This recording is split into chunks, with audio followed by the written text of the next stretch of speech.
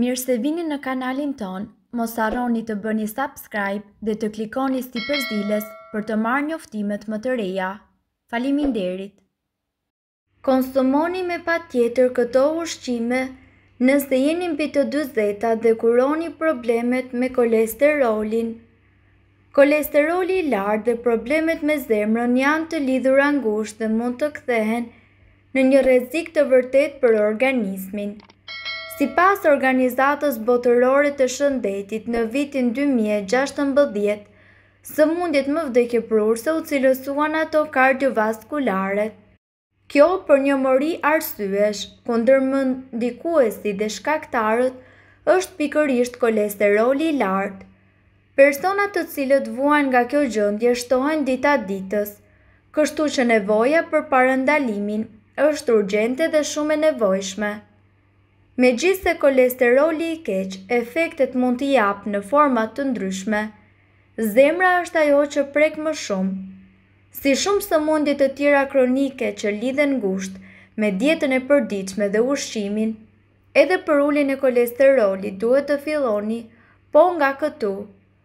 Ushqimet e duhura mund të bëjnë vërtet diferencën në shëndetin e mirë të të gjithë organizmit. Prandaj në këtë artikull do t'ju tregojmë frutat më të mira të cilat mund t'i hani çdo ditë për të shpëtuar nga kolesteroli i keq. Avokado. Avokadot janë shumë të rekomanduara për pacientët të cilët vuajnë nga presioni i lartë i gjakut. Kjo pasi janë një burim shumë i mirë vitaminash dhe antioksidantësh të rëndësishëm Këtu përfshihet vitamina K, C, B pesë, B gjashtë E dhe yndyrna të shëndetshme të cilat parandalojnë rrezikun e ishemisë dhe ndihmojnë zemrën. Të njëjtin rol luajnë edhe në shërimin apo balancimin e kolesterolit të keq në trup duke balancuar yndyrnat. Domatet, Shumë të shijshme dhe të përdorshme, domatet janë të pasura me vitamina A, B, K, të cilat ndikojnë drejtpërdrejt tek shëndeti i syve dhe zemrës. Domatet janë të pasura me kalium, prandaj ndihmojnë në uljen e kolesterolit të keq dhe në shëndetin e zemrës. Mollët. Vlerat e mollëve për organizmin fillojnë që nga lëkura e mirë, tretja dhe deri tek zemra dhe balancimi i niveleve të kolesterolit. Duke qenë e pasur me fibra, është një antioksidant shumë i mirë. Kjo do të thotë më pas kolesterol të keq në trup.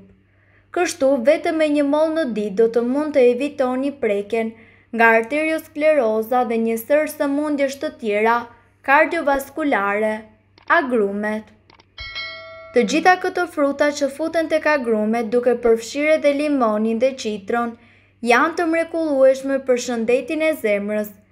Megjithëse jashtë kësaj familje në këtë listë mund të përfshini edhe rrushin si një mënyrë për të mbajtur larg sëmundjet.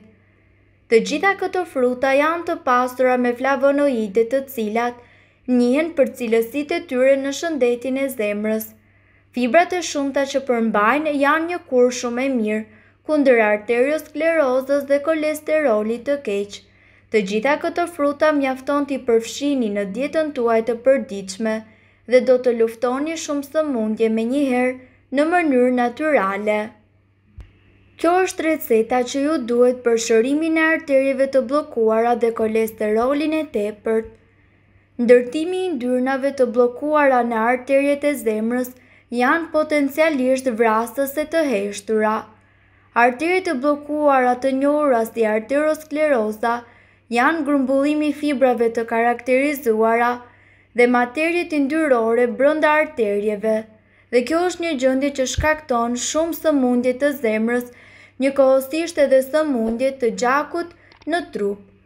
Shtresat e akumuluara në muret e brendshme të arteries janë të krijuara nga substanca të ndryshme të cilat qarkullojnë nëpër gjakun tuaj. Zakonisht të shkaktuara nga kolesteroli i keq, Personat kanë një jetë pasive me pak lëvizje në përditshmëri dhe nuk aktivizohen fizikisht apo janë obezë, atëherë këta persona janë viktimat kryesore të sulmit të nivelit të lartë të kolesterolit në organizëm. Gjithashtu duhanpirja, konsumimi i alkoolit, konsumimi i ushqimeve yndyrore dhe të sheqerosura Rrisin rrezikun e arterieve të bllokuara.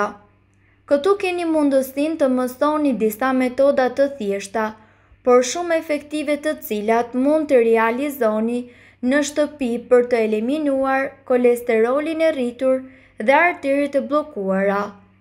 Hudhra është njëra nga ilaçet më të mira për zhbllokimin e arterieve. Ajo ndihmon në zgjerimin e enëve të gjakut dhe përmirësimin e qarkullimit të këtij të fundit. Për dallim nga ushqimet e tjera, hudhra nuk ka asnjë përqindje sasi të kolesterolit brenda. Si ta përdorni hudhrën për arterie të bllokuara? Mund të hani dy deri në katër thelpinj hudhër çdo ditë, patjetër kuptohet se duhet ta qëroni fillimisht para se ta hani atë. Shtoni në menunë tuaj ditore përdorimin e hudhrës në gjellra dhe sallata të ndryshme. Përgatitni çaj nga hudhra duke i shtypur tre deri në katër thelpinj të saj dhe përzieni në një gotë qumësht. Vlojeni këtë dhe pastaj pijeni. Sipas hulumtimeve të pacientëve që kanë shtuar hudhrën në përdorimin e tyre të përditshëm, është vërejtur se ajo ka zbritur kolesterolin tek njerëzit deri në njëzet miligramë. Hudhra mund të zbusë nivelin e kolesterolit të keq për organizëm derisa nuk ndikon fare në nivelin e kolesterolit të mirë. aftësi të shërimit dhe përzgjedhjes të këtyre dy materieve, shfaqet për arsye se hudhra bën caktimin e saj të dozës së nevojshme nga organizmi sapo të hyjë. Këtu do t'ju paraqesim një tjetër recetë e cila do t'i japë fund kolesterolit të keq. Receta që do t'ju paraqesim në këtë postim është përdorur që kohë më parë nga kultura të ndryshme. Kjo recetë natyrale është mjaft e dobishme për të trajtuar sëmundje të ndryshme dhe për të forcuar sistemin imunitar. Përbërësit janë një copë xhenxhefil, një thelpi hudhër, një lugë gjelle uthull molle, një lugë çaji mjaltë, një lugë gjelle lëng limoni. Hidheni të gjithë përbërësit në blender dhe ruajni përzierjen e krijuar në frigorifer për pesë ditë.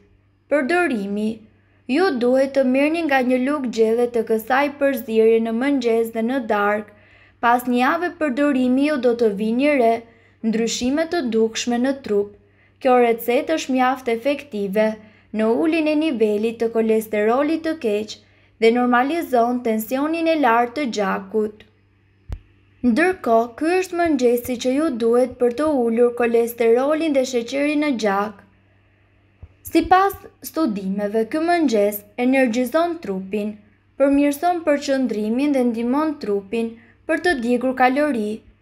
Studimet kanë treguar se mëngjesi është i lidhur me përmirësimin e kujtesës dhe një rrezik më të ulët të sëmundjeve të zemrës, mbipeshës, sëmundjeve dhe kolesterolit të lartë. Trupi përdor shumë rezerva energjie gjatë natës, kështu që një mëngjes i ekuilibruar ndihmon shumë në rritjen e niveleve të energjisë, si dhe sasitë e proteinave dhe kalciumit të përdorur gjatë natës. Përbërësit janë një filxhan tërshërë, katër lugë fara chia, dy gota ujë, dy lugë mjaltë, një lugë çaji kanellë dhe pak kripë. Udhëzimet, Hidheni ujë në një tenxhere, shtoni kanellën dhe sapo uji të fillojë të vlojë, uleni nxehtësinë dhe shtoni tërshërën. Zieni për pesë minuta dhe hiqeni tenxheren nga nxehtësia. Mbulojeni dhe lëreni me një anë për pesë minuta. Përzieni, shtoni fara chia, mjaltë, kripë dhe kënaquni. Mirëpo para se të provoni këto receta të mjekësisë alternative, ne ju sugjerojmë që të këshilloheni më parë me mjekun tuaj. Nëse doni të dëgjoni videot tona që ne postojmë çdo ditë, kliko Subscribe. Ju ftojmë gjithashtu të bëni like në videot tona nëse i keni dëgjuar dhe pëlqyer ato. Faleminderit që e patë videon tonë! Shpërndajeni këtë video në profilin tuaj në mënyrë që të informohen edhe shokët tuaj. Faleminderit!